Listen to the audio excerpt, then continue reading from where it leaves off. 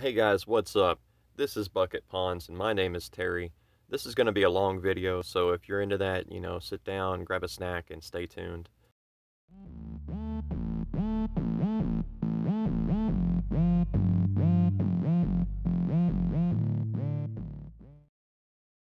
Uh, today we are looking at the 2 liter soda bottle aquarium that I set up back in February of this year. That was about 7 months ago, and the tank has developed uh, really well.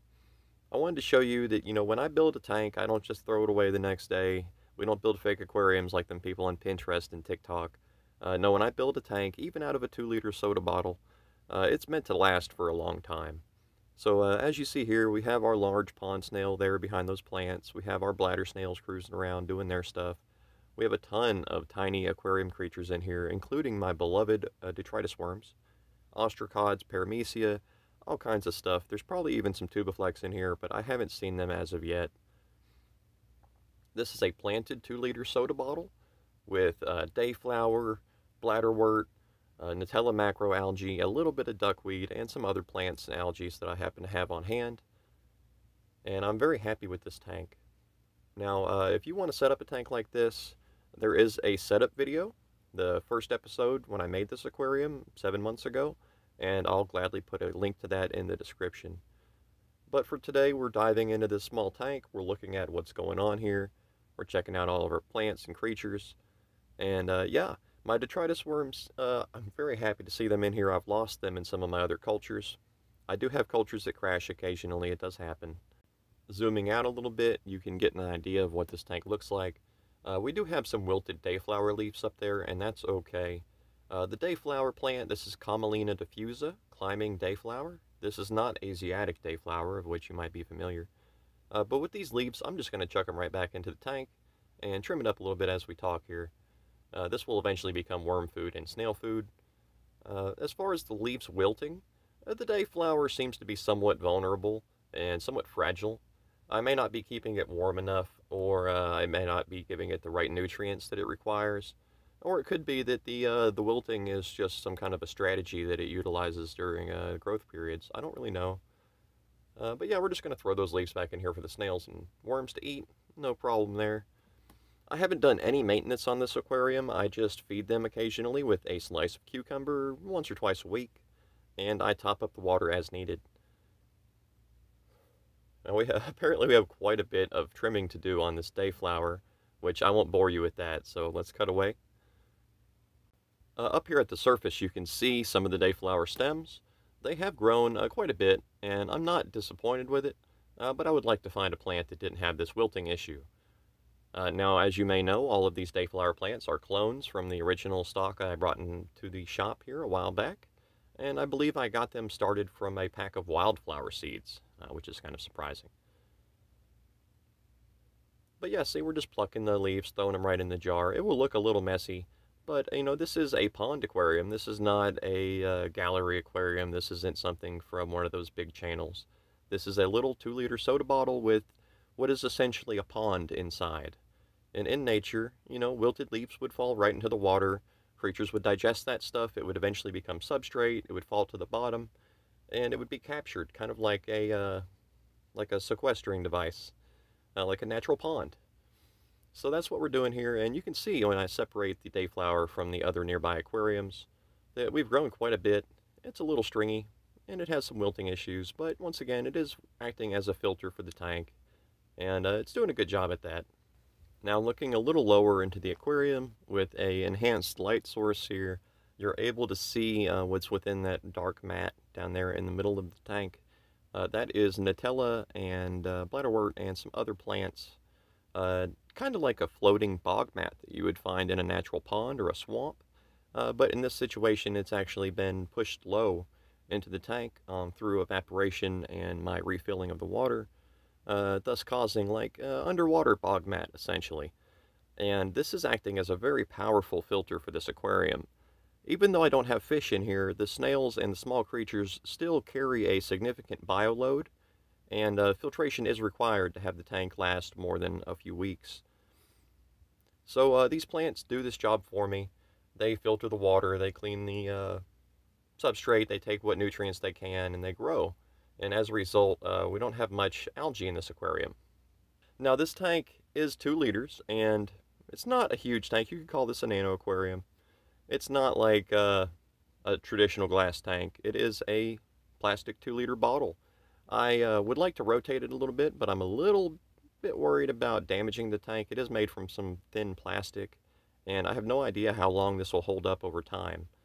So uh, I'm pretty careful with it. It stays up here on my shelf. It does receive indirect daylight, and um, I don't heat it or anything special like that. It actually sits on top of an air conditioner.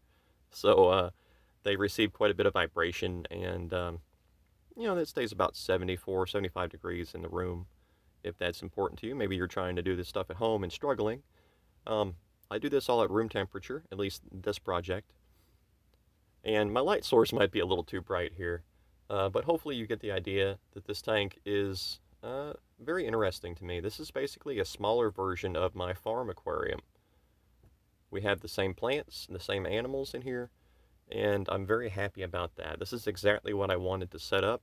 I, I did want it to be a little bit more translucent in the lower areas of the tank, uh, but as these plants grow, as this Nitella gets established, it forms a very strong, uh, almost like a net, like a uh, fishing net and it's very durable once it's in this form and it's it's best not to mess with it too much once it's at this point. Now if you're just getting started with these pond projects and these types of aquariums, um, I'd like to share a quick story with you. Uh, when I first found my Nitella, I found it out there in a wild pond. I brought it home, I got it growing. I asked for help online with like what to do with it, and people were very rude. They told me there was no way I could keep that in an aquarium. There was no way it would last. It's going to, quote, go sexual and then melt. And uh, people were very mean. uh, but, you know, I was just getting started and I refused to accept their uh, suggestions that I throw it all away. And now look where we're at. You know, I'm able to grow, I don't know, 50 pounds of this Nitella without an issue. And I continuously, every day of my life, laugh in these people's faces. They have no idea what they were talking about. So just remember that if you're just getting started, don't worry, don't let others discourage you from this hobby that you're stumbling into. Just enjoy it. You know, do what works, try to figure it out. This tank might look like it has algae on the background, but that's actually an aquarium directly behind this one. Uh, this tank is very clear. And I believe that's from the uh, plants and the macroalgae uh, actively consuming nutrients before bad algae can get to it. So there's another suggestion. Uh, Add something that will compete with the algae that you don't want. It sounds complicated, but uh, they're in here for a reason. They eat up all the nutrients before the bad algae can get to it. So here you see our large pond snail. He is a direct import from Puerto Rico, and uh, he's like a one of our first pilgrims over here colonizing my tanks. That was many months ago, so he's been in here a while now. He's gotten pretty big. Uh, now looking at the tank with the macro lens, we will see the pond snail again in a moment. Uh, but here we have our bladder snails, our paramecia, our detritus worms. This is in a, a, very powerful zoom, so these guys are pretty small, but you can see them really well with my macro lens, and uh, that's another suggestion. If you're just getting started, get a macro lens. You can get a cheap one for your camera or for your phone even, and uh, that'll help you see these creatures. And even if you're not making videos, at least you'll be able to see them and to study them a little closer. It's helping me a lot. What you see here are small detritus worms. Um, not the huge numbers that we've had in other aquariums, but they are here, and there's a pretty good population. I've come to the conclusion that my projects, uh, they seem to require the macroalgae and the bladderwort, and even to a limited extent the duckweed. Because uh, for the ecosystems that I like to build, they look a lot like this. And for this to happen, I seem to need my Nitella. I'm not sure if it offers cover to these creatures or it just gives them a habitat or maybe it just filters the water to such, such an extent that it allows them to uh, overpopulate and breed like mad. I don't really know. The science is a little bit beyond me, uh, but it works and I'm happy about that. Now the tanks I've tried without the Nitella, they usually end up getting very cloudy and murky and kind of funky and I don't show them so much on the channel. Uh, but here with these tanks, we have a beautiful uh, ecosystem. This is a true ecosystem uh, based on light and cucumber slices, which is pretty cool. Uh, you see some weird debris falling and floating here and there in the aquarium. That happens naturally with these tanks. Uh, ostracods will occasionally pull things down. Uh, buoyancy will pull it back to the surface. It's like a interesting cycle. This is a uh, very active aquarium, and there are there is a lot of motion in here, just stepping back and watching it. Uh, that large stem there is actually from the dayflower plants, and uh, it's looking pretty healthy to me. There's some roots right there. That little bit of brown stuff, I believe that's actually a type of algae or diatom, but it doesn't seem to be hurting the tank at all, and I'm not too worried about it. I don't do any maintenance on these, so you know if something happens, I'm not going to go in there and like try to cut out the, the bad algae or the diatoms or the blue-green algae or whatever. Um, that's all naturally present in a pond. You know, the trick is controlling it naturally. Um, you can go in here and try to pull things out that you don't want, but you're going to be doing that forever. And I'm honestly pretty lazy, so I'm not going to do all that. I uh, like to start off an aquarium, set up an ecosystem, and watch it run. That's more my thing. I don't want to do a lot of maintenance. So uh, there's another tip. If you're new to this hobby, if you're trying to culture some of these types of creatures, uh, excuse me playing with the lighting there, if you're trying to culture some of these creatures, uh, don't overthink it. You know, you don't have to pretend that you're a biologist. You're, you're probably not a biologist, you know? So uh, just run with what works. I have no idea what species these detritus worms are. I've never seen, like, their internal organs or any kind of uh, microscope images or anything like that. And I don't need to. You know, there's just no need. They're here, they're healthy, they're uh, not parasitic. I've watched them eat uh, detritus and cucumbers and all sorts of stuff. So they're not dangerous in any way and they're not going to hurt anything. And uh, I love them. I think they're very interesting pets. Uh, now here we're looking at uh, a little bit higher in the water column, still with the macro lens, and you can see my ostracods are very numerous. They've completely engulfed this piece of dayflower. It looks like one of the dayflower stems might have failed and died, but that's okay. That's part of nature. And uh, the ostracods are very grateful. We also have a pond snail nearby snacking on it, and another one. Uh, the stringy green stuff is actually a type of duckweed. It's called Florida mud midget, and you've probably seen it in my other videos. Elsewhere in the tank, we have another shot of our large pond snail. Uh, he's a pretty big guy. Um, as far as I can tell, they behave very much like the bladder snails do, and uh, that's pretty cool. You know, I wanted a slightly larger species that would behave in a very similar way as far as breeding and like habitats. Uh, so the pond snails were a good option for that. And uh, you can see some physical differences between him and the bladder snails. Uh, but otherwise, they behave in a very similar way. And I'm very happy to have them. Now, looking a little lower in the aquarium, you can see uh, this is beneath the bog mat layer in the middle. This is towards the very bottom near the substrate and the soil and the stones. Uh, but here we have the dayflower rooting beautifully into the area, and we have so many detritus worms and paramecium down here this is the real uh, action of this aquarium. This is the filter. Um, they are actively breaking down any detritus, any snail waste, any extra food that might float down here. They're tearing it up. They're building it into a substrate for these plants. They're building it into uh, basically uh, compost or potting soil, however you want to look at it. Uh, but that's the natural action of a pond. As creatures like this will dwell down in the mud, in the bottom. They'll break down all that extra stuff, the plants will take that up, use that to grow, and you have a nice cycle that forms. You know, a plant will die, fall back into the water, stuff will eat it, and, you know, it repeats. I'm very happy to see so many of my detritus worms in here because, uh, yes, I do lose a culture here and there. Uh, you may remember the uh, two and a half gallon aquarium, which I'll link in the description. I've got like 15 videos about it. We had so many worms in there, and uh, I got a little lazy with feeding them, paramecium replaced them somehow, and then we just had a mass disaster. So I'm happy that that has not happened in this aquarium. And if you are culturing some creatures like these, or maybe you bought one of my kits, remember to feed your pets. it's better to overfeed them than to underfeed them, because if you have a million worms die from starvation, it will poison the water, your tank will fail, it'll be bad. So uh, always feed them, feed them a little too much, and remember that as their numbers grow, they will need more food.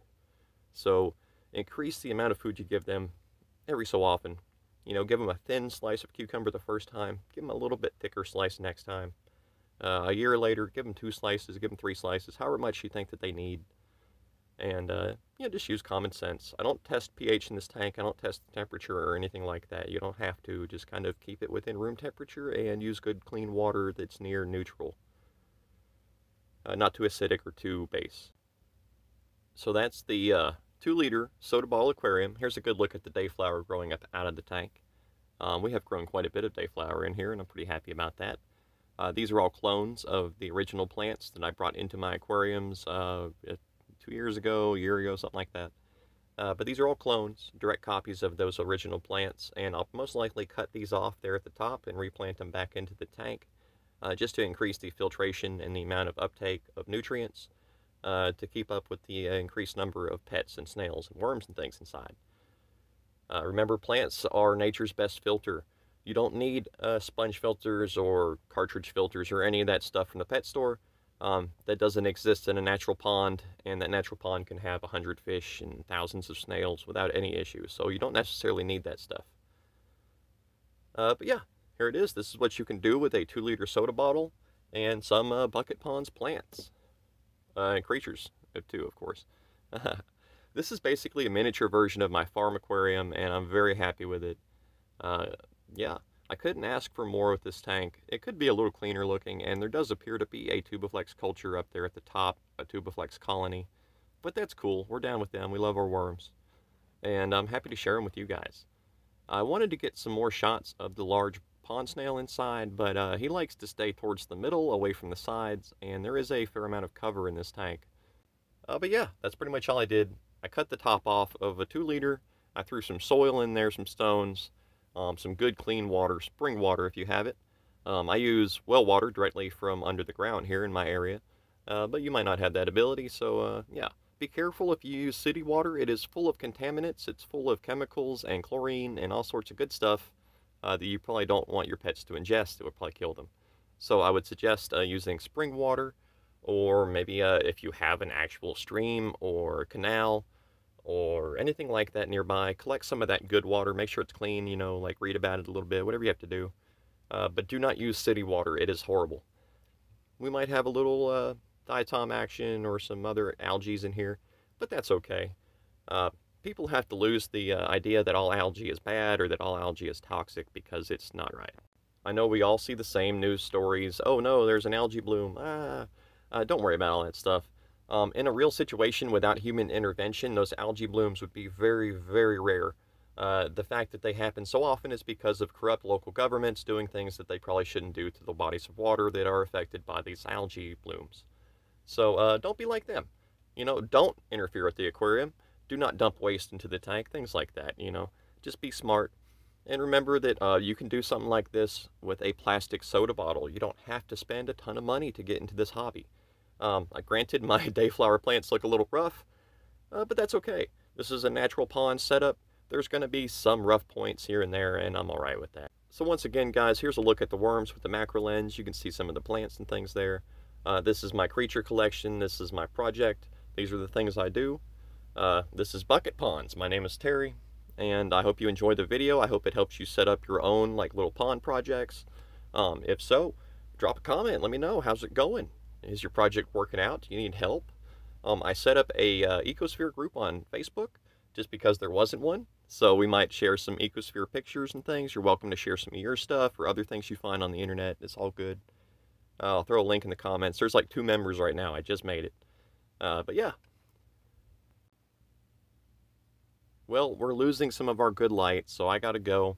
Um, thanks again for watching, guys. This is the 2-liter planted soda bottle aquarium, also known as the Valentine's Day Aquarium. It is 7 months old, and I'm very happy with it. Thanks for watching. Please check my channel for more. Always got tons of this stuff going on. I missed my last upload window on Friday, uh, but I was working on this tank, and it needed some love. It needed uh, to be done properly, so I hope you can bear with me for that. And uh, I'll see you guys again soon.